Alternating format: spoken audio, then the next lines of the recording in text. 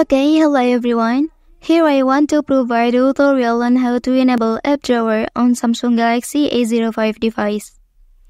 Okay, let's go to the tutorial. Well, here if you swipe up your home screen, and then will appear all of app installed on your device, or you can say app drawer. But here you can see that the app drawer on my device is not active. Okay, and then to activate it, you can do the following steps. First thing first, you can press any screen on your home screen. Okay, and then you can choose settings. After that, here you can click home screen layout. Well, and then here you can choose to activate the first option, home and app screen. Well, and then the app drawer on your device is successfully active.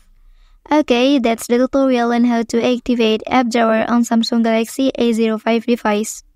If you are helped by this video, don't forget to like and subscribe to get other information from this channel. Thank you.